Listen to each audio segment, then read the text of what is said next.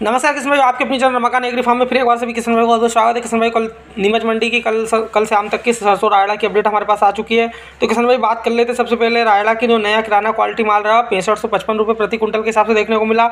और जो बढ़िया सूखा माल था किसान भाई, वो हमें तिरसठ सौ रुपये से पैंसठ सौ रुपये प्रति कुंटल के हिसाब से देखने को मिला। और किसान भाई वीडियो को लाइक करके चैनल को ज़रूर सब्सक्राइब कर ले।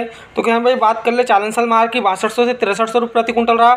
और जो एवरेज माल था किसान भाई, वो छः हज़ार रुपये से लेकर बासठ सौ रुपये प्रति कुंटल हमें सरसों रायड़ा का भाव देखने को मिला।